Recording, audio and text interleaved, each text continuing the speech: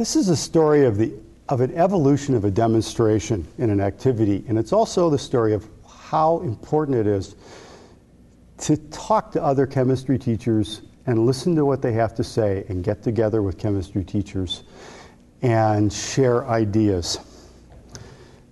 For a long time, I did a demonstration in actually an activity which I really, really enjoyed doing involving cereal. Uh, I used to read the back of cereal boxes, and on the back of the cereal box, it would list the ingredients. And one of the ingredients was iron.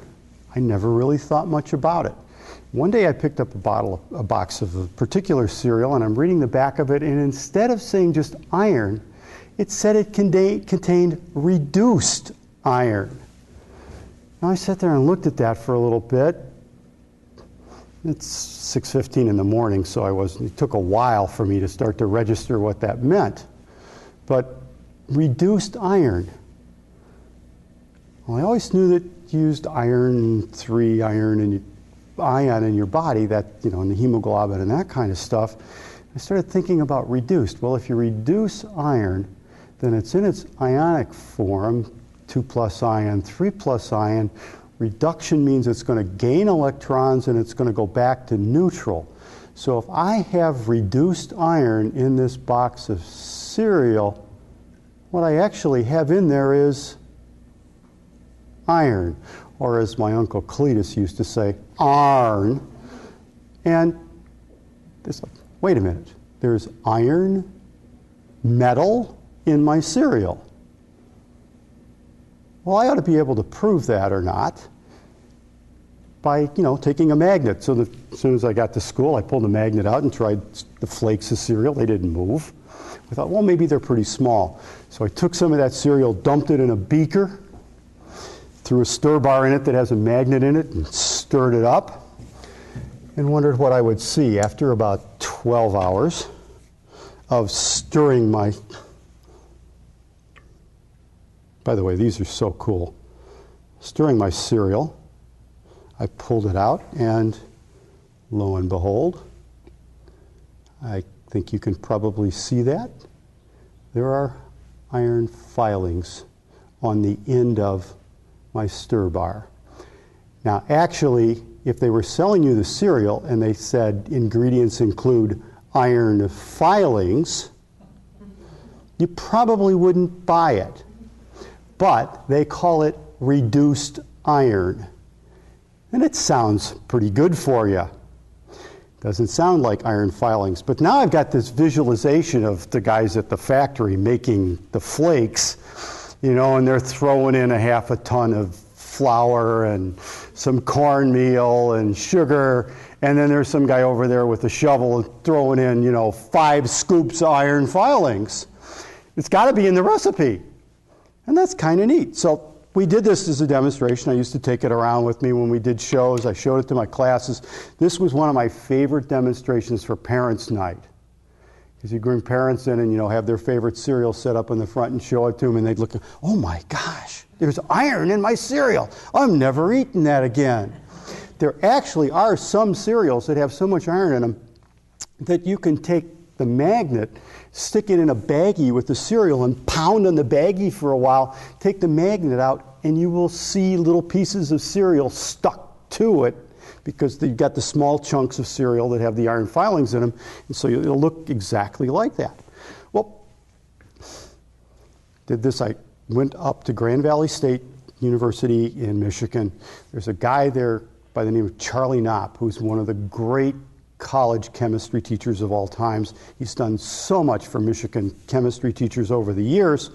And I was doing this demonstration and I had purchased a gigantic stir bar. It was like $24, Teflon coated, so I could make a great big beaker full of this stuff that would be more visible for people. And after we finished the demonstration, Charlie comes up to me and he goes, Bob, Bob, I want to show you something you can do with that stir bar besides take the iron out of the cereal. And he hauls me back through three storerooms and he comes up to me. We get up to this thing and he's got this you know, $22 stir bar. He's got a bottle with some iron filings in it, and he slides the stir bar down inside the bottle. He shakes it up and he gets this amazing three dimensional magnetic field. I'm looking at this and going, this is really cool. I've been doing this with my physical science classes for 20 years, and every time I get the iron filings out and they shake the stuff on the piece of notebook paper we set on top of that magnet, the iron filings are all over the room. They're all over the magnet shortly after that. It's nearly impossible to get it out. So it's just fantastic. And I'm going, oh, except for one small problem. It's $22 for each one of these magnets. I don't have enough money to buy a classroom set of these magnets. But I thought it was really cool, so I took the demonstration into uh, one of our Chem West meetings where we meet together in the Chicago suburban area. We have a group called Chemistry West. We get together about once every month during the school year, and we sit down and talk about cool things that we've seen or do in our classroom. So I, I, brought this thing in and I showed it to the Chem West group with the $22 magnet in it, and I, am standing there and you know got it going really well, and it's just, it's just everybody's going, oh, that's really neat, but I can't afford to buy a $22. This was, by the way, this was 30 years ago. They're probably $60 now, or 20 years ago.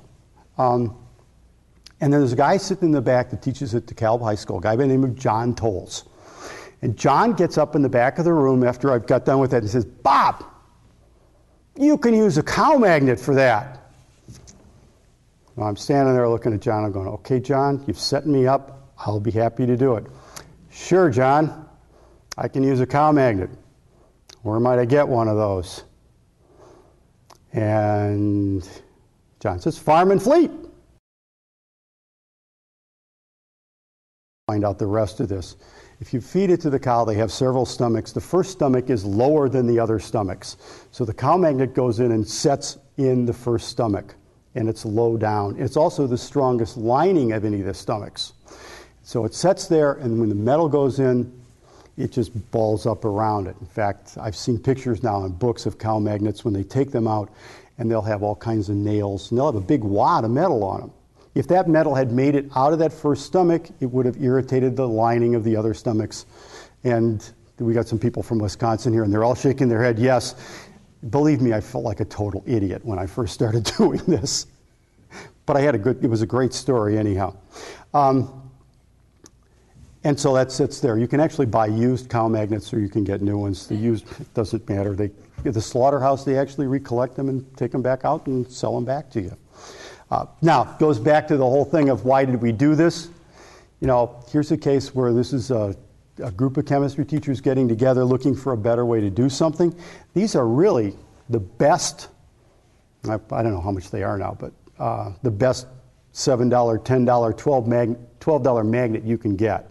They're better than any others that I've seen until you get up to the alnico ones that are really, or the, yeah, the really expensive ones. But you can take this and you can get a little liter bottle, two liter bottle, whatever, throw a cup, couple tablespoons of iron filings in it, stick a test tube down inside there. Another thing I discovered with this, different than with the, the Teflon coated one, you better put something soft in the bottom of the test tube because the first time I did this, I just dropped the cow magnet in.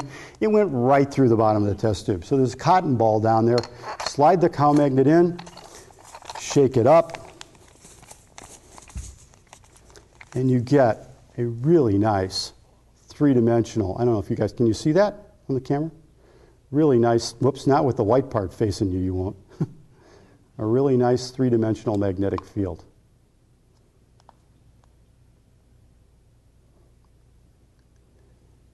And that's the story of the cow magnet learning cycle that we went through. And it illustrates more than anything else the advantage of going to other chemical chemistry teachers and talking to them about the problems you have in your classroom and the things that you're trying to do and listening to them give you suggestions about how you can improve what you're doing, make it better, other ideas, even just getting a stupid joke from them, like all the stupid stuff about cow magnets that you can talk about. Thank you.